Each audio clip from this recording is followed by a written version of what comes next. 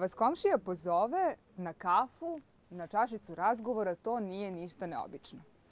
Ali da vas pozove na koncert klasične muzike, pa da na krilima nota šetate zajedno u društvu kroz vekove i kroz žanrove, e to je već prava komšijska priča. Zamislite da priredite intimni koncert za svoje komšije i prijatelje u svojoj dnevnoj sobi.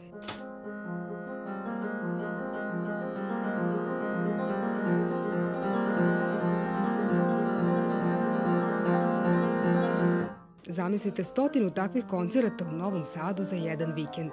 Celodnevne maratone klasične džez, savremene umetničke i popularne muzike. Da Novi Sad postane četvrti piano city grad, Maja Alvanović i Kosta Jevtić su već čvrsto rešili. Jer taj festival daje priliku svim pijanistima da izađu iz intime svoja četiri zida. Povezuje umetnike, publiku i žanrove. To je festival koji je brendiran u svetu, on se održava u tri grada trenutno u Evropi, Berlinu, Milanu i Napolju i trebalo bi da Novi Sad bude četvrti Pijano City grad. Razbija zidove između umetnika, pijaniste i publike, što mislim da je nekako značajno u vremenu kada se malo komunikacija već gubi, a cela poenta ovog festivala je u komunikaciji. Tako da se ona praktično ovde pojačava. Imao sam prilike da osmotrim kako, kako te pripreme teku i takođe da vidim na licu mesta kako, kako građani e, Napolja reaguju na te pripreme, kako, kako se oni pripremaju, kako sa velikim ponosom govore o tom festivalu kao o nečem jako, jako važnom. Uh, I onako videvši sve to, uh, pomislio sam, bože, kakav je to festival o kom se na svakom koraku priča u jednom gradu koji ima tako bogatu tradiciju, tako bogatu, tako bogatu muzičku tradiciju pre svega, to mora da je nešto sjajno zaista. I poželao sam da, da taj koncept prenesem ovde. Omiljeni klavirski duo novosadske umetničke publike Ingmar Pijano, Slobodan Kastević i Aleksandar Gligić priredio nam je pravi kamerni koncert.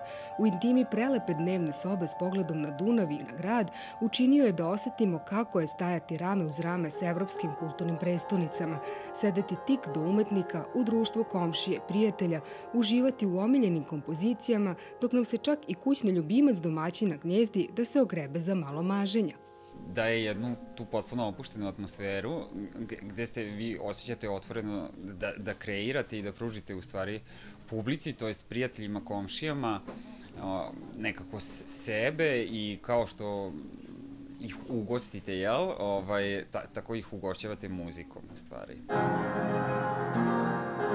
Radimo na određene teme iz pop kulture, dela, gde nam naši fenomenalni kompozitori na neki način obrađuju, ali to u stvari nije obrada, nego nastaje potpuno novo umetničko delo sa raznim citatima iz pop kulture i to je nešto što je ljudima prijemčivo, jer neko prepozna refren, neko prepozna strofu, a opet nastalo je potpuno novo umetničko klasično delo.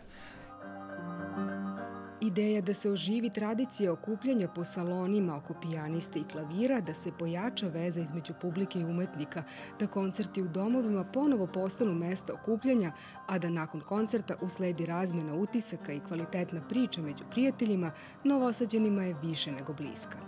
Bilo je izuzetno zanimljivo videti ih u nekom ambijentu koji njima nešto znači i koji njihovim prijateljima e, i kolegama između ostalog i mi tu smo proveli dosta vremena sa njima. Bilo je neka veoma posebna atmosfera. Tako da um, ja sam izuzetno živao. Ja sam negde kad sam razmišljala o ovom pijano City festivalu, razmišljala zapravo da su Maja Alvanović i Kosta Jeftić mađioničari, zapravo neki, neki ljudi koji žive u jednoj divnoj maštonici, pa su smišljali ovako nešto, a da mi budemo u četvrti grad ovako, radi ovakve slične stvari, čini mi se potpuno pionirske, da je baš pionirski. Prijave za autore i domaćine, ali i sponzore i medije su do kraja maja na sajtu festivala, u nadi da će u septembru Novi Sad postati četvrti Piano City grad.